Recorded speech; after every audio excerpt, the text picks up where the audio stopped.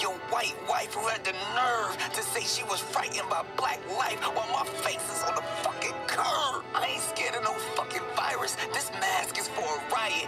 I can't breathe, and the media telling me to keep quiet, suffocating me into silence. The devil's greatest trick convincing the world that we were the ones who were violent.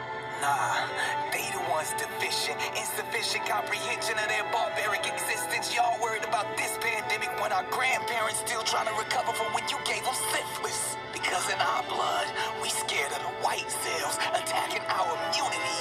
The system, defective, infected. So who has the disease, you or me? Because I'm at a dis-ease, disadvantage, dismantle, disability of your white knees killing me. Been on our neck for centuries.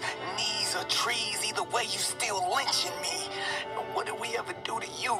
Except for build and make America initially.